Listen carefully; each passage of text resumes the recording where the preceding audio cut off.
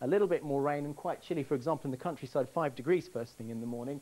Across northern England, again, just that little bit worse, bit more cloud. And this rain you can see in the North Sea here, well, that's the last of the rain, clearing away from East Anglia. For a time, there could be a bit of a breeze in the southeast, but on the whole, not looking too bad. In fact, a big difference for a lot of us on Tuesday. Look at that, these gold colours showing the sunshine, but a little bit more cloud across northern England and Scotland, remember. Temperatures in London tomorrow probably peak at around about 16 degrees, still above the average for the time of year, but take a look at this. Back to square one on Wednesday, rain piling in from the southwest and some pretty strong winds, if not gale force winds on the coast itself. So really, it's